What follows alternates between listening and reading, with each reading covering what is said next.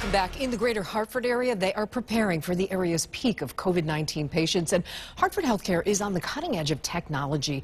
Joining us live is the president and CEO of Hartford Healthcare, Jeffrey Flaks. Thank you so much for joining us again. Oh, thank you. So you just announced that you had your first patient at Hartford Healthcare donate plasma. Tell us about that. No, it's interesting. Uh, first of all, it's an important emerging science, and it's and it's part of the developments, the innovations uh, that are being put in place that are that are helping us care for people who are in their most vulnerable position. Uh, so we're really proud that we're on the leading edge of this capability. Uh, but the first person who donated plasma uh, is a is a staff member of ours named Chris Madison, who's both grandparents and parents have worked for us for more than four decades.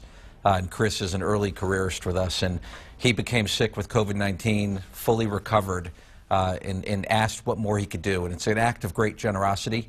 Uh, his donation ultimately will allow us to care for two to four people uh, when with uh, the, the plasma is given to patients who are in intensive care environments. So uh, we hope to see many more donations as time goes forward. This is very early, but it's an important part of how we do the fight against COVID-19.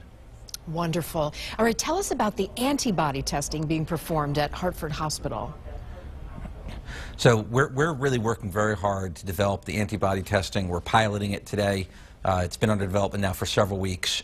We hope over the next two weeks that we're going to be able to do 2,000 people for antibody testing. And our, we'll, we'll be doing frontline uh, staff members, people working as first line res, uh, responders, as well as uh, all of our healthcare workers who are in most need of the antibody testing. So it's another capability we have, and it will help us figure out who's been exposed and who has, reco has recovered and, and who has elements of immunity as we go forward. Yeah, what a game changer. Okay, you've also established a colleague support center line for support. Explain how that will work. That sounds great.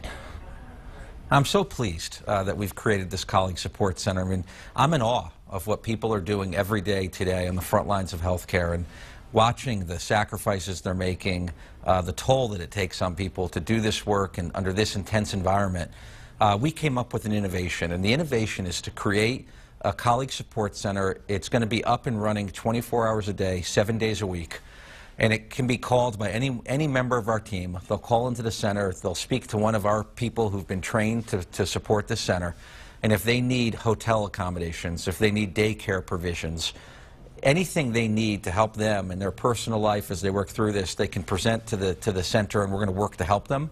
But in addition, we're going to have behavioral health capabilities where if they need counseling, if they need support, uh, if they need to talk to somebody, uh, real time, we'll be able to connect them with our behavioral health resources. So I think it's an important thing to do as the, this goes forward and the days continue to mount. Uh, the, the effect it's having on people in the front line is very significant, and we need to do everything possible to help and support uh, the heroes who are working on the front line of healthcare. All right, thank you so much. We really appreciate your time. We know it's busy right now, um, and great information for everybody. Hartford Healthcare President and yeah. CEO Jeffrey Flaks, thank you. Thank you.